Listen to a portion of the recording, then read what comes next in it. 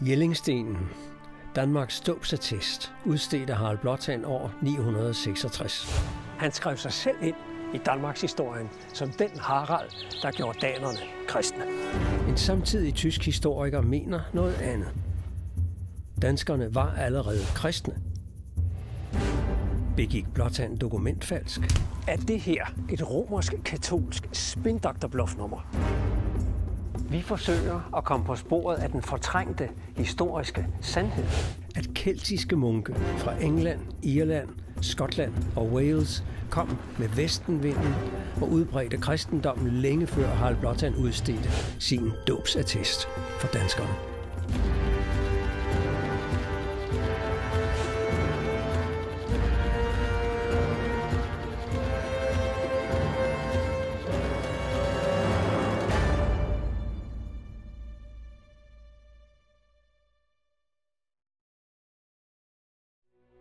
Han Herred i det nordvestlige Jylland, omtrent midtvejs mellem Aalborg og Tisted, ligger landsbyen Klim. I Klim Kirke, inde i våbenhuset, ligger en gravsten, som der ganske enkelt ikke findes magen til. Fagfolk betegner den kort og godt som mærkelig. Som gravsten er Klimstenen her af en type, der er kendt fra vikingetidens England. Den kaldes hogback, vildsvineryg, efter den velvede form, som den har. Men hvad den billedrige udsmykning angår, ja, der er fagfolkene bag det store værk om Danmarks kirker simpelthen på herrens mark. De karakteriserer den som stort set uforståelig. Den har efter alt at dømme fungeret som en art kistelåg, båret oppe af fire gavlstolper, hvoraf den ene står her.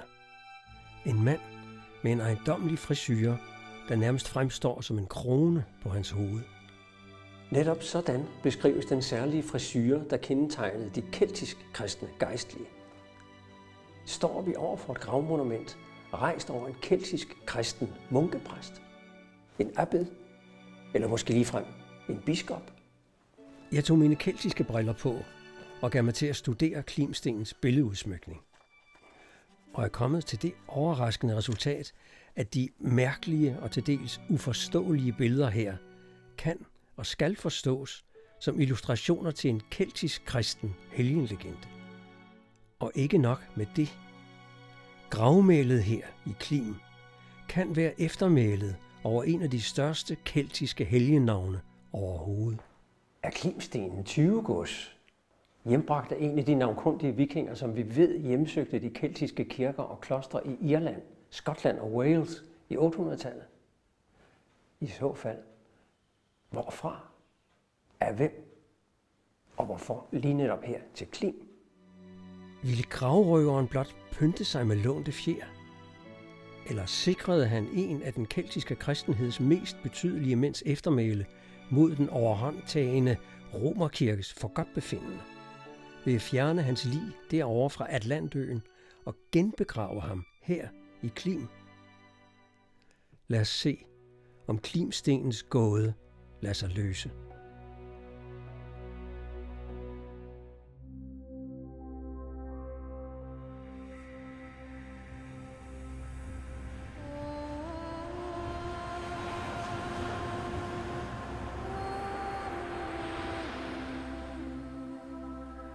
I året 563 grundlægges et af den keltiske kirkes vestligste kraftcentre, klostret på Iona. En lille ø mellem Irland og Skotland, oprindeligt druidernes, det hedenske præsteskabs hellige ø.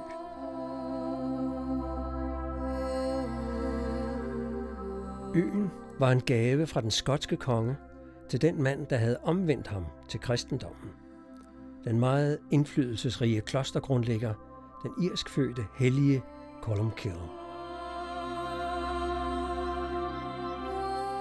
Tilnavnet Columkill betyder klosterkirkens due.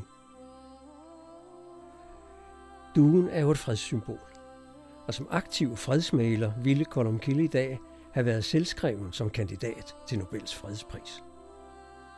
Hans liv og levne er beskrevet af en af hans efterfølgere, en vis Adamnan, som er ved af Iona der forsøgte han forgæves at overtale sine munke til at indordne sig under Romerkirken. Kolumkilde selv havde holdt sig fri af katolicismen. Men i 700-tallet, der blev hans tilhængere, de keltisk kristne munke på Iona, landsforvist fra øen af en ny katolsk konge, og en katolsk gejstlig kom over og genindvidede Ionas hellige jord i Kristi og den romerske paves navn, som om den var keltisk forpestet. Nu skulle den hellige grav være velforvaret. Men i året 823 blev Iona hjemsøgt af danske vikinger på togt. Det var sket både to og tre gange før i det samme århundrede, men denne gang var vikingeflåden anført af kongen af Danmarks søn. Han hed Mandarus, eller Mandan. De folkelige, næsten savnagtige overleveringer om begivenheden er ikke helt enige med sig selv i detaljerne. Men hovedtrækkene lades vi ikke i tvivl om. Den fornemme danske viking var ude efter intet mindre end den hellige Columkilles lig. Da ingen af de katolske munke ville røbe, hvor klostrets stifter lå begravet, beordrede Mandarus kirkegårdens katolsk hellige jord endevendt. Efter en rum tids hårdt gravearbejde kunne de danske vikinger læne sig til spaden og tørre sveden af panden. Mandarus havde fundet, hvad han søgte. Sankt Columkills grav. Ligkisten med levningerne af et af den keltiske kristendoms vel nok største navne blev nu båret ombord på et af langskibene, og vikingeflåden stak til havs. Hjemover. Hele denne første del af beretningen om en dansk kongesøns røveri af Columkills kiste fra Iona lyder i mine ører som rimelig nøgtern historieskrivning. Her, ude på havet, skifter fortællingen karakter eller stil og slår over en anden genre, den kristne helgenlegende. Dygtig farvet af det katolske syn på vikingen som en barbar, hvad enten han så var hedning eller keltisk kristen kætter. De rovgriske vikinger kunne nemlig ikke styre deres utålmodighed. Den slap op endnu mens de var undervejs på havet, og de bryder den hellige mands kiste op i håb om at finde guld og andre kostbarheder, som de var overbevist om var blevet givet klosterstifteren med i graven. Men fandt kun ben og aske. Ærgerlige kastede de indholdet over bord og lod kisten følge efter samme vej ud i bølgerne, som, og nu bliver legenden så mirakuløs som legender skal være, som fører helgens kiste i land ved Downpatrick-klosteret i Irland. Og her lader abbeden Columkill begrave side om side med Irlands to andre store helgener, St. Patrick og St. Bridget. De netop sådan havde Patrick i levende live spået, det skulle gå til. På netop dette sted, tre helgen og en grav skal fylde Patrick, Bridget og Columkill. I dag vil det næppe være muligt at finde så meget som en eneste historiker, der vil sluge Downpatrick-klosterets legende råt. Hensigten med at fabrikere den slags legender, og de blev produceret i hobetal, og de blev med en engelsk legendeforskers ord mere og mere tåbelige, mere og mere urimelige efterhånden, som Romerkirken tog over, det var at markedsføre ens eget kloster som udflugtsmål for pilgrimme i skarp konkurrence med andre kloster. Med andre ord, jeg tror ikke på abbeden og Downpatrick-klosteret. Jeg tror ikke, at den danske kongesøn Mandarus lod kisten, som han møjsomligt havde fået gravet op af Arionas jord, glide sig af hende over reglingen på sit langskib. Jeg tror, han fragtede den hjem. Hjem til Danmark. Hjem til Klim. Og jeg tror, at dette unikke gravmonument med sin mærkelige og til dels uforståelige billedtale indtil 823 har prøvet St. Columkills helgengrav på Iona, centret for den keltiske kristendom. Jeg kan godt selv høre, at det lyder helt utroligt. Er de der irske munkelegender nu ikke ren legende? Og har der overhovedet nogensinde eksisteret en dansk kongesøn ved navn Mandarus? Jeg troede det ikke selv, men det har der faktisk. Godt nok så er 800-tallet en af de mest dunkle perioder i Danmarks historie. Men så meget ved vi dog, at en dansk kongesøn og viking ved navn Mandarus bliver landsforvist fra Danmark i året 810, men får lov at vende tilbage i 820'erne, da hans bror Erik blev konge. Jeg antager, Manderus slog sig ned her lige nord for Akersund i Mandstrup. En by, der ifølge stednavneforskningen må være opkaldt efter en person med det gamle nordiske navn Man, som på munkelatin bliver til Manderus. Men var Manderus kristen?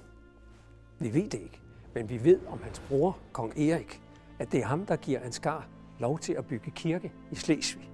Men han afslår og lader sig døbe i Ansgars katolske tro. Det betyder ikke, at de danske kongebrødre var hedninge. En tredje bror hed Christianus. Og noget mere kristen kan man vel dårligt hedde. En nær slægtning til kongsbrødrene var kong Barn. Han blev kaldt Barn, fordi han kun var 12 år, da han overtog kongeværdigheden efter Mandarus bror Erik. Kong Barns grav lå ifølge folkesavnet her ved Vust Kirke, cirka 7 km vest for Klim. Kong Barn fik brev fra paven i Rom og i brevet udtrykker paven sin glæde over kong Barns kristentro, men formaner ham i samme åndedrag til at komme til erkendelse af sandheden, det vil sige den katolske tro.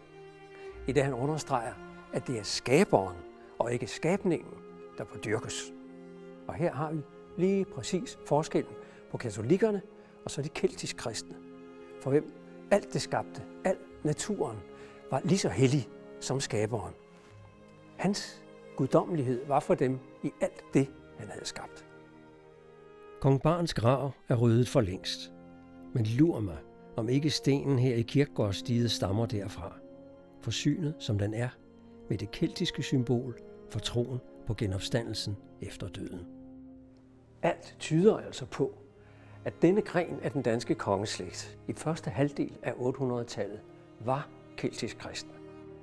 Og at Mandarus' aktion på Iona ikke var et barbarisk øh, sørøvertogt af vikingetidens værste slags, men en overbevist keltisk kristen troendes vellykkede forsøg på at vriste et af den keltiske kristendoms allerstørste klenodier ud af romerkirkens greb. Det forekommer naturligt, at Mandarus har bragt gravstenen i sikkerhed her i Han Herred, hvor medlemmer af hans kongelige slægt synes at have haft deres domicil. Men hvorfor lige netop her i Klim? Klim. Et besønderligt ord. Jeg slog efter i stednavneforskeren Gordon Albøges imponerende værk om stednavne i Hanherred og konstaterede, at der er andre besønderlige navne på den her egen. Navne som Korbenshøj, hvor forskerne enten er uenige eller opgiver ævret med vendingen Betydningen er uvis. Det slog mig, at disse navne forekommer danske fagfolk på samme måde som billederne inde på gravstenen i Klim Kirke, nemlig som til dels uforståelige. Kunne grunden være, at disse mærkelige stednavne slet ikke er danske, men keltiske? Jeg lagde stednavnehåndbogen til side og begyndte forfra med en galisk ordbog og gjorde store øjne. Det keltiske ord klim betyder bispesædets efterfølger.